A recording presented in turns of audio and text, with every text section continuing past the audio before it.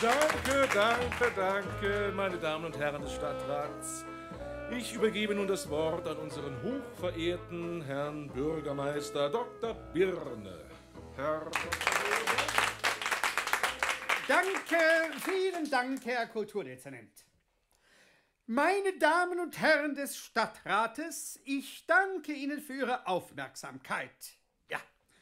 Ähm, alle wissen, ist unser Amt für Denkmalschutz eines der rührigsten im Lande.